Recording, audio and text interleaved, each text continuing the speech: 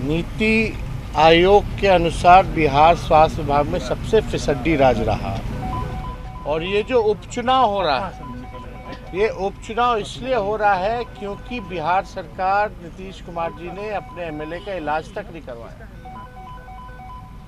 आज दोनों जगह उपचुनाव इसलिए हो रहे हैं कि कोरोना काल में जो बद इंतजामी, कोई व्यवस्था, स्वास्थ्य, अस्पतालों में चिकित्सक वगैरह जो व्यवस्था होनी चाहिए, ऑक्सीजन की आईसीयू की, दवाओं की, पूरी तरीके से नाकामा, नाकामयाब रहे।